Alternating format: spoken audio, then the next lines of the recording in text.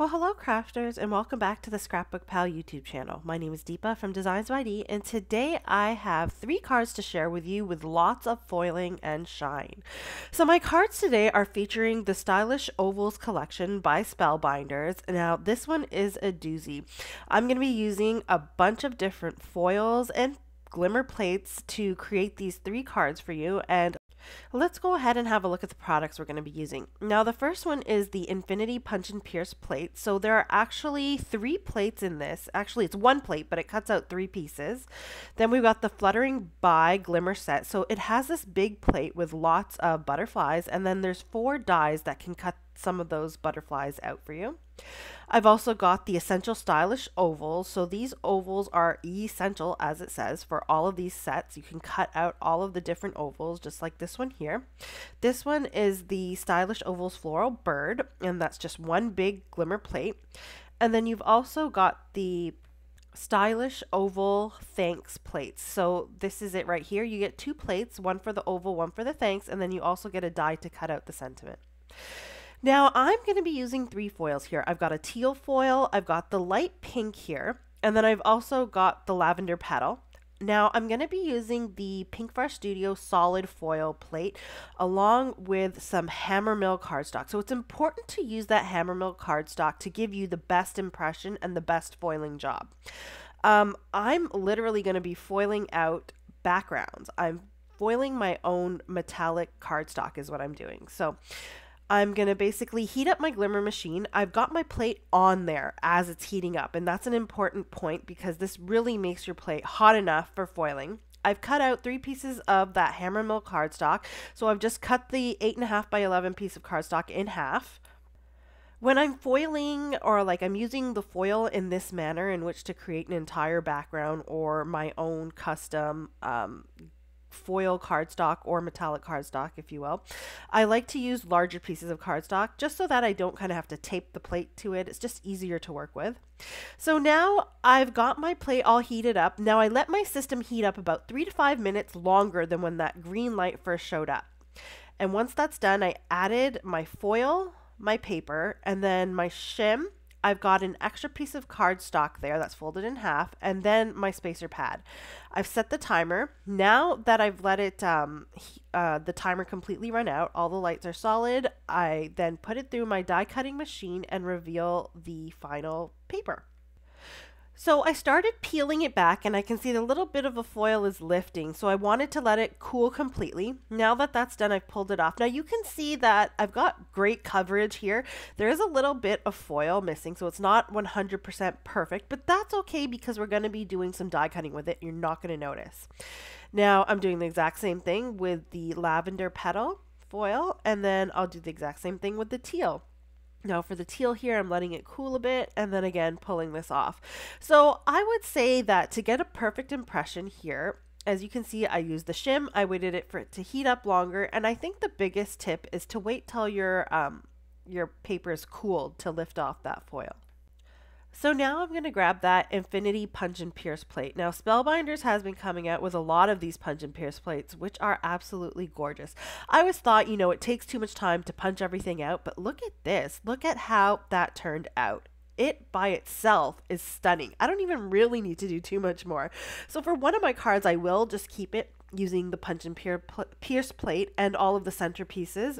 And for the other two, I'm just going to use that outer frame. So I'll go ahead and cut out the other two. You can see how these look. They're absolutely stunning.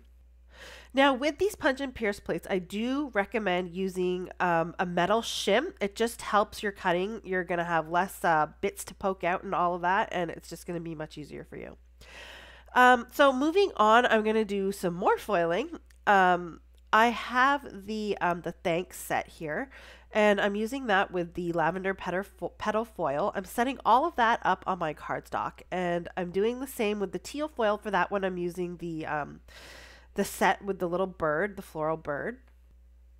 And you can see as I pull the foil off one by one how gorgeous these look just on their own.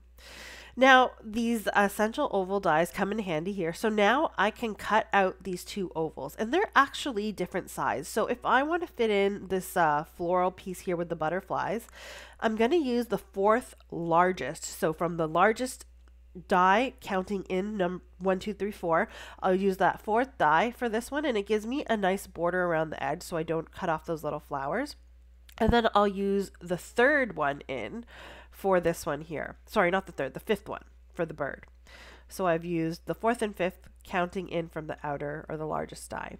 And then I also have the coordinating die for the thanks sentiment. So I'll just set those aside and moving on, I'll get to my butterflies here, these fluttering by butterflies. Now I'm going to be using some prism foil for this one, which is going to go great with the rest of the um, the pieces because they are so shiny and this is just going to shine all the different colors of the rainbow. I've gone ahead and I folded on some more Hammermill cardstock. I got a bit of underfoiling, but that's not a big deal. I'm not using the entire panel. I'm actually going to take those smaller butterfly dies and I'm just going to cut some of these out here. So I only really needed to foil this panel once. I'm not going to show you all of the cutting, but um, I think I cut out in the end about 16 or 18 different butterflies that from this one panel that we foiled. So you can see it works perfectly for this. Um, so I'm going to just put these cute little butterflies aside and these are just going to be like something a little extra to put on my final cards. Now for my sentiments, I have two sets here. I'm actually using the um, Hello Friend Sentiments Glimmer Hot Foil plates and I'm also going to be using the Wonderful Script Sentiments because they work both very well together. You can use that to cut out these larger sentiments here. And I also have the Inside Card Glimmer Sentiments. I was going to use that. I did end up foiling it, but I didn't end up using it on. So I usually foil just the sentiments I want. This time I decided to foil everything. And you can see that it turned out okay. The bigger sentiments are perfect, but some of the smaller ones kind of got nudged away. That's okay. I'll find out how to cut these in order to make them work for me. But in the meantime, I can go ahead and cut out those larger sentiments. Now, as I mentioned, the die set Wonderful Script Sentiments work perfectly with these foiled sentiments. They line up, the dies line up perfectly, and you can cut those out here. Now, I did have a bit of overfoiling. And I would recommend that if that happens, please, please, please do not throw your product or your, your final image away. You can fix it, and I'll show you how. Okay, so take a look at this here on the Wonderful at the L. There's a lot of overfoiling here, okay? On the camera, it doesn't look as much. In real life, it's kind of messy. So I'm just using this um, this eraser tool here to kind of clean it off. You could also use a Tombow Mono eraser, works perfectly as well. And you can see it's completely cleaned up here.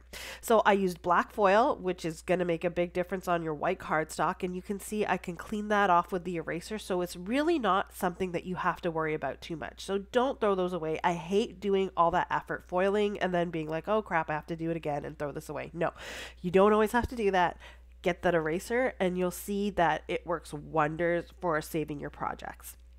Okay, so now that I've taken care of all the overfoiling, I'm going to go ahead and start assembling these cards. So I've already cut out three A2 sized white card bases. They're all side folding. And now I'm taking those punch and pierce um, pieces that I cut out earlier from that homemade or that custom made cardstock that we made with the foil. And for the pink, I'm just going to put all three pieces from that punch and pierce plate onto the card panel sorry, onto the card base. So this one is going to simply just display that beautiful punch and pierce plate, which is absolutely gorgeous on its own. Now for the teal and the lavender petal, I'm just going to use the outside frame. So the two center pieces, I still have them left. I can use them for another project. I'll just keep them aside. I have like a box of a bunch of scraps and stuff that I've die cut and not used that I use for other projects as I need and see fit.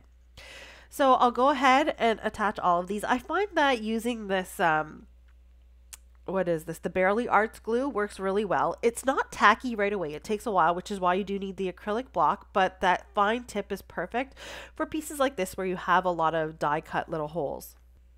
Now for the actual oval pieces, I'm propping them up with some foam. Now, I've got a piece of foam that I forever use and I just cut out my circles, but I never waste that foam. So what I'll do for these is I'll just cut out little pieces and prop up these ovals with them. You can see I've got all those little bits there and I just I find that it doesn't really make a difference if it doesn't um, cover the entire oval. If you've got enough foam on there to back it, it's going to work nicely to prop up your piece without anything kind of buckling in. So I'll just go ahead and add the, the purple oval there and the teal one with the little bird. And once I've got those all nice and propped up, I can go ahead and add my sentiments. Now for that purple one, we've got the thanks sentiment, which comes with the set. So I'm just adding some foam strips here and I'll attach that to the center of the card. And you can see the little curvy bits, they fit in so nicely and it works so well with this plate. It's just really cool. I like how the little ovals curve one way and then the other. So that one is pretty much done. Now on the one with the little bird, I've got the hello that we've cut out and I'll just stick those little strips in um, wherever they can fit nicely. I love these strips because they're the perfect size, especially for these sentiments that are a little bit finer. They fit nicely in there with the longer strokes of the word. And then I've also got the little sub sentiment, hello friend, and I'll cut that off. Now, if you wanted to, you could add some color to this, but I really just wanted to showcase all of that glimmer foil. I didn't want to take away from it at all, so I'm keeping it pretty um, simple here. And now for the punch and pierce, the complete punch and pierce card. I'm going to be adding um, the beautiful sentiment along with these sub sentiments, wishing you a birthday or something as beautiful as you. And I'll cut these off the little um, sub sentiment bit. So I've just basically cut a little angled um, piece off there just so your eyes kind of flow from the first sub sentiment to the center, then to the last sub sentiment. So it all kind of fits together. So those are all three cards. Now let's add these cute butterflies. So this is what kind of amps the card up just a little bit more and adds that extra bit of shine. Not that it needs any. So for these butterflies, one point I will note is that I was tempted to kind of bend them so that they have a little bit more dimension and the wings kind of flap upwards. But you have to remember you foiled and when you bend the foiling, you can see all these little crease marks, which don't look that great. So I would recommend just keeping these nice and flat. Uh, which is what I did after I bent the first one and realized it didn't work. And I'm just adding about three butterflies to each card. Now on the last card, I decided to add five. Now you'll notice I'm keeping with the uh, the rule of odds. So I like to keep odd numbers of elements on my cards just because they're more aesthetically pleasing to the eye. And um, this is no different, right? So I'm going ahead and adding five to this last one. And then I'll do the exact same thing with that rule of odds when I add my embellishments as well. So I'll just go ahead and fill up finish up this last card with the butterflies. And when it comes to my embellishments, you can choose a contrasting color if you'd like. That did cross my mind, but I decided to go with colors that are going to match the foil that I chose. And it turns out that Pinkfresh Studio, they came out with those glitter drops. I think they just came out with dual tone glitter drops. Well, I'm going to go back to the original glitter drops because the per the colors match perfectly with these foils. So this first uh, color of glitter drop is the amethyst. amethyst. You can see it matches perfectly with that lavender petal foil. Then I'm using Blossom here. This one matches perfectly with the light pink from Spellbinders. Now in the Scrapbook Pal shop, they don't have this foil, but they do have the matte foils, the soft um, what is it the the pastel tone colors there's a whole pack of them in these three colors if you wanted to recreate this those would definitely be the ones that i'd pick out um, i did actually think thought that I had them at first and then realized I didn't, so I just used these. And then again, for the blue, I used Lagoon Glitter Drops. So these are my final cards for you. I hope that um, this has inspired you to create something similar yourself. And you can see that you can use any of the foils in the same manner to create your own custom cardstock here, especially if you don't um, have the metallic cardstocks or you think they're a little bit too expensive. This is another way you could go about that. So everything that I've used here is available in the Scrapbook Pal store. Everything's listed in the description below. And I hope that you guys have enjoyed this video. Don't forget to like and subscribe, and I'll see you again next time. Bye.